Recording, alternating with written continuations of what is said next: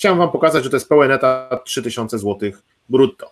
I teraz y, scenariusz y, kolejny, czyli załóżmy, że tego pracownika od 1 kwietnia zatrudniacie na, y, na te 4 piąte etatu, czyli zmniejszacie mu wymiar czasu pracy do 4 piątych etatu.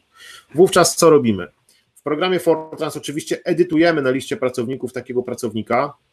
Oczywiście wprowadzamy to jedną z trzech, jednym z trzech sposobów, jeżeli chodzi o formalności, czyli ane, przypominam, aneks, wypowiedzenie zmieniające bądź tarcza antykryzysowa. Załóżmy, że to jest tarcza antykryzysowa, chociaż dla programu to nie ma znaczenia, więc dodajemy aneks. Dodajemy aneks do umowy o pracę. Przycisk z dodaniem aneksu macie dokładnie e, w tym miejscu, czyli dodajemy aneks do tej umowy o pracę, który to aneks będzie wprowadzał nam te, ten obniżony wymiar e, czasu pracy. Czyli zróbmy to.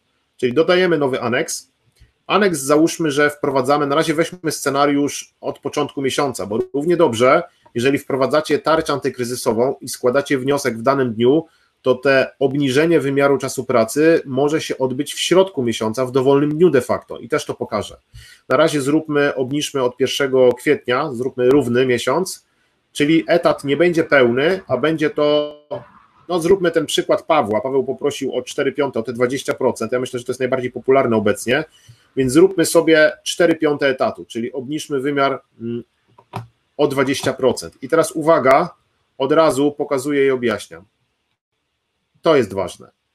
Norma dzienna, czyli, czyli norma tygodniowa, tylko w rozumieniu, taka jest norma faktycznie dzienna i norma tygodniowa dla pracownika na 4 piąte etatu, czyli norma dzienna to jest 6 godzin i 24 minuty, no bo tak to, tak to wyjdzie, jak pomnożycie sobie 4 piąte razy 8 godzin, to dokładnie tak to wyjdzie, 6 godzin i 24 minuty, czyli taka no niestety niezbyt przyjemna do liczenia i norma tygodniowa to będzie 32 godziny.